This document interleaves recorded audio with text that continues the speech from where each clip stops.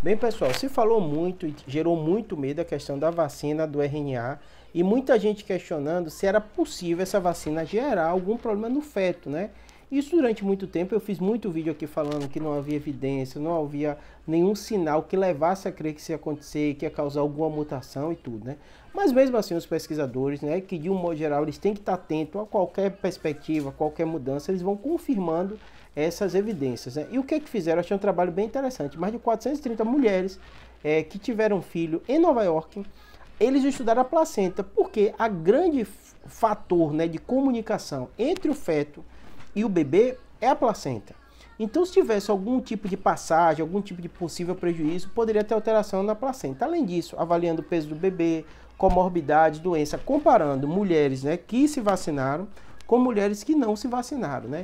E eu achei bem curioso, porque nesse trabalho ele mostra né, que análise da placenta não mostrou nenhuma normalidade, nenhuma modificação, nenhuma alteração que gerasse qualquer tipo de preocupação. Além disso, analisando também os fetos, né, quanto a peso, vários fatores, também não teve nenhum diferença entre esses dois grupos, né?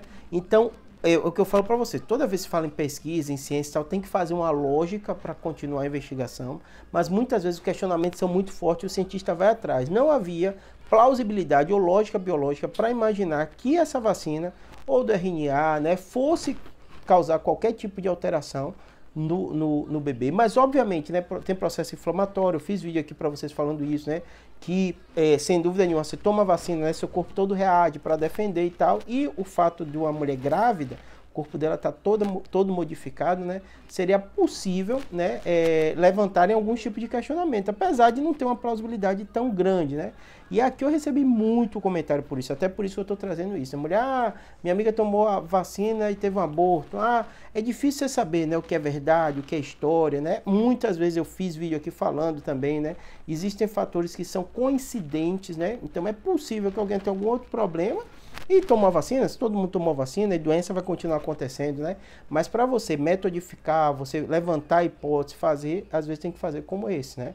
olhar, analisar, então analisou placenta, 400 e poucos, compararam, né, sem nenhuma modificação, tá bom? Mais uma informação para vocês ficarem tranquilos com a vacinação e tomar reforço. Muita gente às vezes coloca nos comentários assim, ah, Júlio, já estou com as duas doses, mas agora estou grávida.